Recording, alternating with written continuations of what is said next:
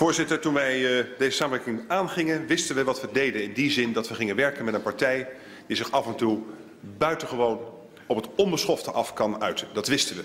Dat gebeurt ook gisteren. Ik vind dit soort uitspraken natuurlijk niet bijdragen En aan dus, een goede omgangsvorm. wat dan? Ja, doe eens normaal, man. Wat dan? Doe eens normaal, rustig, man. Vuil flikker. Voorzitter, mag ik misschien... Je moet oppassen wat je zegt. Wat kom je naar buiten dan? Kom je naar buiten zo, hè? Ja, wat joh, flikker.